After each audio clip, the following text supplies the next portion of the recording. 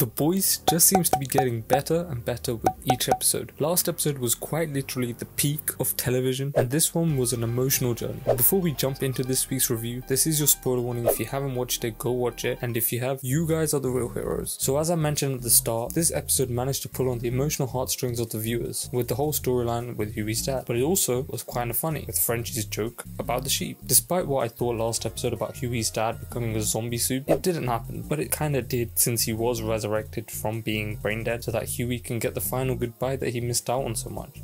Hughie's dad, despite seeming okay with Hughie's mum's return, we do see that down below he still hasn't forgiven her, and this was manifested into his powers, since his powers is the ability to phase through things and disappear from a situation, a lot like Hughie's mother did. But I also can't help but draw similarities between Hughie's powers when he had taken Temp V and Hughie's dad's powers. Though they are very different, Hughie does have teleportation powers, they also do seem quite similar as they do fall under the same bracket. We also finally get the Super Virus storyline be addressed this season, something that has taken way too long for this season to actually show, but we do find out who Neuman's partner is, and that is Sameer, a scientist who had worked for Edgar. The return of Stan Edgar was also great to see. We also see that Annie and Neuman aren't that very different to each other, since they are both trying to live two different lives. And the longer you do that, the more dangerous it becomes. We also see Homelander kind of be a good dad, but at the same time, if you give a teenager no rules, then it is very likely they will go down the wrong path. So that is up for debate if he is a good dad or not. But I do want to talk about this scene in particular. We see that Ryan actually wants to help people, unlike Homelander, which is good because it shows the difference between him and his father. But then at the same time, he kinda enjoys the bad guys getting punished, which is something Homelander often does, so it does put the question of how Ryan will turn out right in the center of the storyline of the entire show. Sam and Cate from Gen V are finally back in V54, which is a ripoff of D23, and they announce a whole bunch of movies in the Vought cinematic universe. Hopefully we get to see more of them in the coming episodes. Also, Cate has either regrown her hand or it's a prosthetic hand. I can't really tell, but I think it is prosthetic. We also finally see God Mode Homelander, and this scene was kind of weird mainly because of my perception of Sage changed with this one scene. This whole time I thought she was on Homelander's side, but with her looks to A-Train as Homelander says that Coleman was the leak, makes me think that she might be playing the long game and tear the Seven apart from the inside. This also explains why she set up Firecracker to be beaten up by Starlight last episode. But I also think that Joe may not be real, since Sameer does look confused when Billy talks to Joe, and Joe might be the devil on Billy's shoulder, whilst Becca is the angel. And if this is true, then we could possibly see the two argue at some point, a lot like when we saw Sam see a version of Golden Boy as he went on his killing spree. But overall, this episode gets an 8 out of 10. Subscribe and comment below your thoughts on the episode as well.